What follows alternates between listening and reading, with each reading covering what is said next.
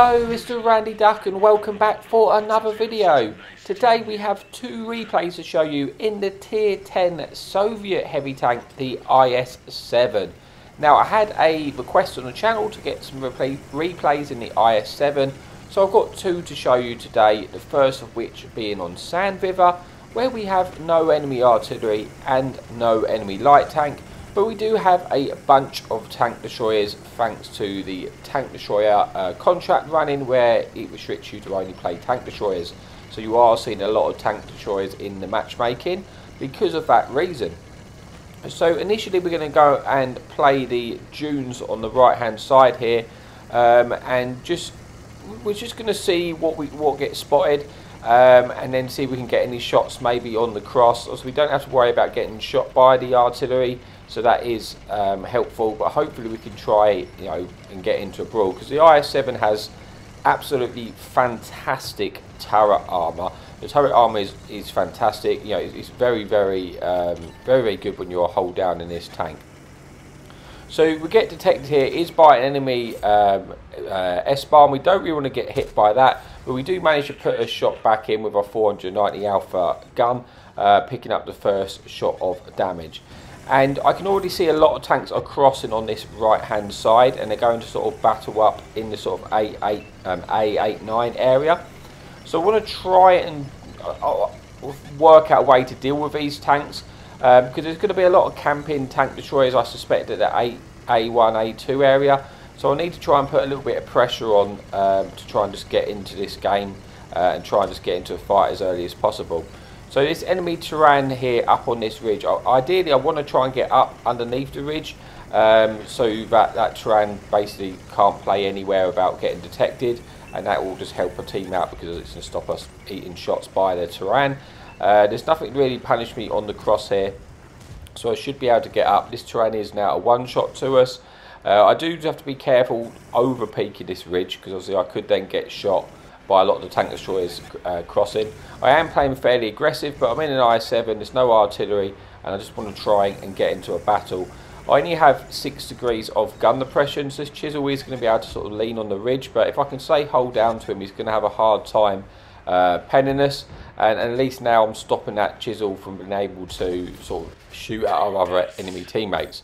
Put one into enemy waffle. The chisel knows I'm on reloads. He's trying to look for a shot in. I'm doing my best to try and get a hull down.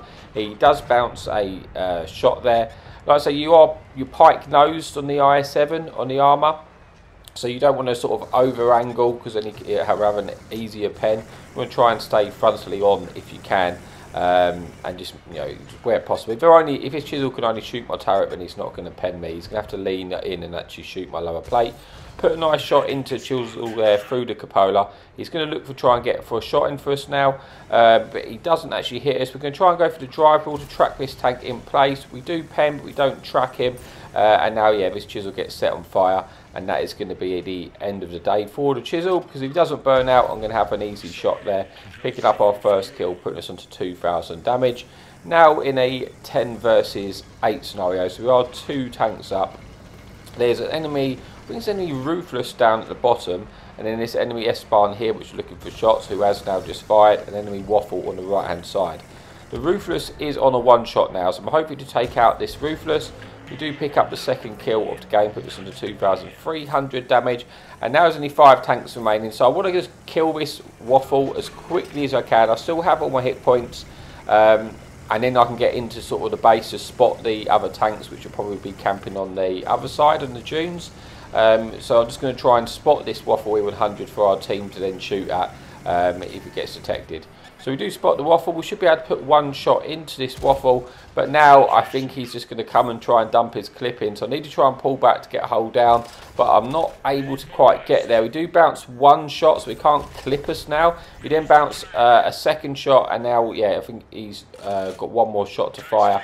Oh, no, he's on reload now. Um, yeah, so we do eat about 1,000 hit points off of the waffle. But, yeah, we had the hit points to spare. And now at least that tank's dealt with quickly uh, which will allow us to get to the rest of the damage. We're starting to win this game and I want to get as much out of this as I can. We're on three kills, shy as 4,000 damage, 1,500 block and a tiny bit of assistance. Uh, if I can get into the base on the right hand side, there is a spot where I can go hull down um, and try and spot these tanks. Um, so I'm just going to see if we can get over there if possible. Just see we can we'll just caress this ridge first, though, to see what we do detect, see if we spot anything. It could be something caught out in the open. And now I'm going to try and get to the right hand side into a dip, which is hull down. Enemy uh, chieftains, I get detected, so I fire on the move. I wouldn't have fired if I wasn't detected because I didn't want to try and lose my spot this early. And now, unfortunately, I might take some damage coming in here. Thankfully for me, I do bounce a shot off of the Grille and a shot off the E4. So that could have been a different game there. I could have got taken out uh, while I was trying to get in position. But now I'm hull down, the tanks are going to struggle to actually be able to pen me. And I'm going to pick up all the assistance for spotting these tanks here.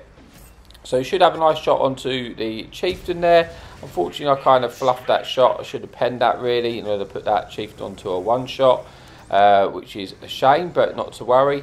Uh, we do keep these tanks detected, we will pick up the assistance for doing so. Enemy um, Chinese tank destroyer gets detected, we put a shot into this tank. Like I say, these are all my spots, so uh, we could pick up a bit of assistance from our friendly team here possible. I'm going to try and move forward and get the kill on this enemy uh, chieftain. Not sure where that shot went, must have just yeah, gone in between him somehow. Uh, enemy Grille's going to put a shot into us, puts us onto a 1. But we put one in return, uh, returning the damage, picking up 5,000 damage and 2,000 assistance. And it's only the one enemy Chinese tank destroyer left, and that will bring us an end to the first replay. So let's see how we get on to me till we move on to the second and final replay of the video. So we pick up 4 kills, 5,000 damage, uh, 2,000 assistance with 3,000 block and the ace tanker. Um, so an okay game there in the IS-7, but let's move on now to the final replay of this video and see how we get on.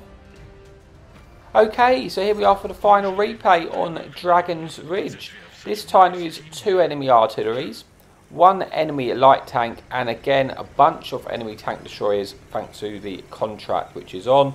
Uh, that is kind of how the matchmaking has been recently. So on Dragon's Ridge, I'm in my i7, you can see the top speed of this tank is fantastic. So when you're actually going downhill, so you can get that momentum, you can get this tank to like 60 kilometers an hour, um, and you can get around the map fairly quickly for such a heavily armoured tank. So quite early doors, we are just having a check to see if anything is coming this way, and it doesn't actually look like many tanks you know, are, are, coming this way. I guess there's only a few heavy tanks, and I found quite a lot on Dragon's Ridge. I come to this area to the to see if I can get into a little brawl with some heavy tanks, and nothing really ever comes. Quite often they just camp in their base. But if they're not going to send any tanks this way, then I'm just going to detect all the tanks on their base ridge, and hopefully we can pick up some assistance from our friendly tank destroyers covering, or maybe our friendly artillery. So immediately we obviously spotted that tank on the ridge, and we picked up 200 assistance. We're going to try and get forward now just to try and get underneath their ridge and just keep everything spotted. Knowing that I do have some tanks which can potentially uh, cover me there. So we spot two tanks. Unfortunately, we do eat one from our enemy tank destroyer, but we do put one into return. And we get the reward of picking up sort of, you know, 2,000 assistance straight away for spotting that tank. And I'm going to be the only tank detecting all these tanks right now. So that means all of the assistance will go directly to me because there's no one else there. See, I've been very, very aggressive, but I just felt like there was nothing. The enemy team had just left this flank, uh, you know, unprotected. And, and if they're going to do that, then I'm going to take advantage of that and just make sure I can keep everyone spotted so that they're not able to do any damage uh, because they're just going to be having to hide from our friendly team.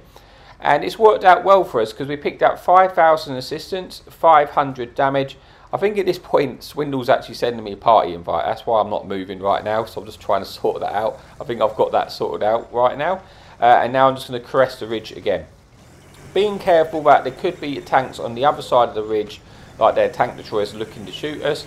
So I'm, I'm mainly focused about keeping these tanks detected at this point because I know I am picking up assistance. So if I can just pick up the assistance and then sneak in the shots sort of here and there uh, to pick up a little bit of damage and you know go from there. Just trying to keep everything detected because it is still a close game. Although we have managed to uh, take out two, or two tanks have been taken out, and we've managed to pick up quite a nice bit of assistance.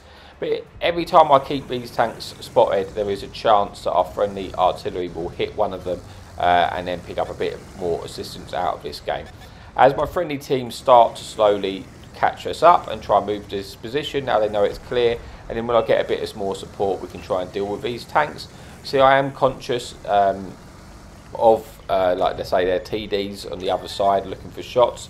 Uh, so I'm just being careful. We bait a shot, bounce that off of our turret, use that opportunity to put a shot into that under the giant.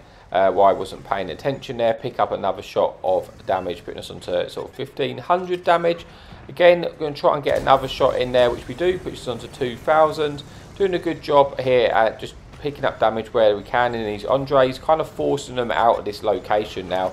Uh, if they do back up enough, I might be able to get forward into this rock in front of me, which will um, keep me safe from the tank destroyers covering on the other side of the uh, map, uh, but also allow me to get that a little bit further to extend my uh, vision. We have a friendly tank destroyer with us now as well. Um, so we're starting to get a bit more support. We've also got tanks starting to push around the other side. I like tank you see here, which is good news for us because that if he goes and spots the TDs on the back side, then that's going to keep you know turn their guns focus away from us and allow us to get up and get a bit more aggressive. Um, bounce another shot there. Like I said, I'm thinking about wanting to get ahead now um, and try and get into this game more, get into that ridge in the front. I'm just trying to wait for the uh, right window to do it. Now both the tanks are fired, I am going to try and get into this location. Puts me in a better spot to try and get shots into this uh, 215B when he uh, pokes there, while still remaining hull down and protected from the artillery and protected from the TDs in the covering uh, side. Should be able to maybe get a shot in the cupola uh, here off this 215B, keeps poking up. We do get a nice shot in there, putting us on to 2,500 damage think we picked up another thousand uh, assistance here, so we're on to about 6,000 assistance and 2,500 damage now. I'd really like to finish off this uh, enemy British heavy tank, who is a one-shot, but I need him to poke up enough for me to, to do so. Maybe should have pulled the trigger there, might have been able to pen the cupola, but I think he's aware of the fact and he's playing a little bit more cautious now.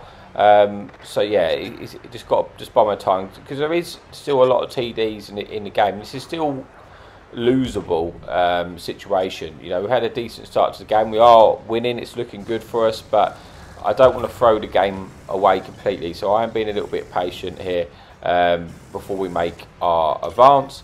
I uh, want to try and just take out this British medium before we uh, heavy tank before we go.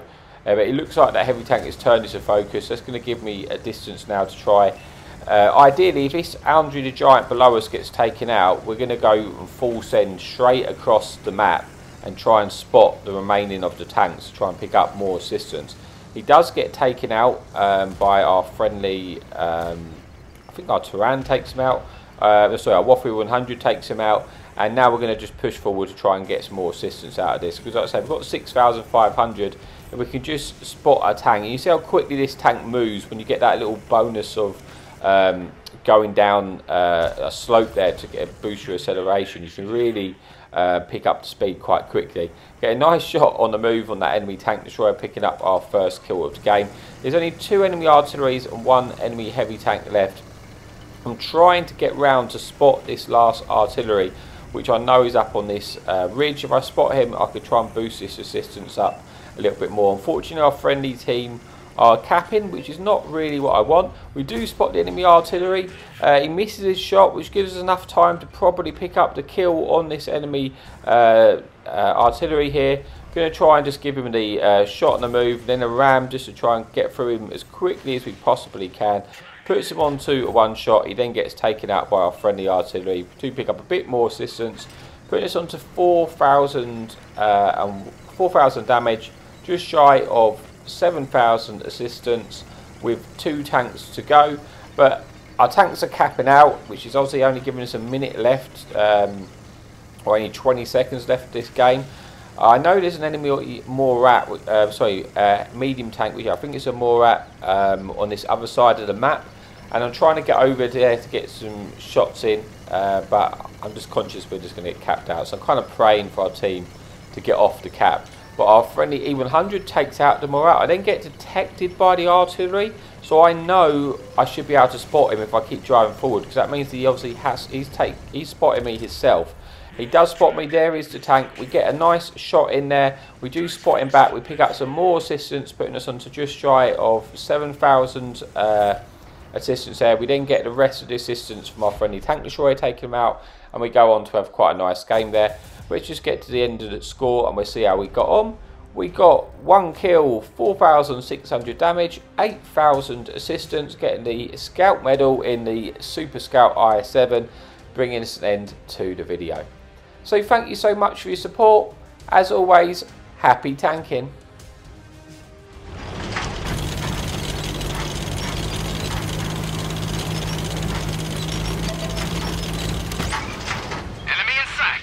Hadouken!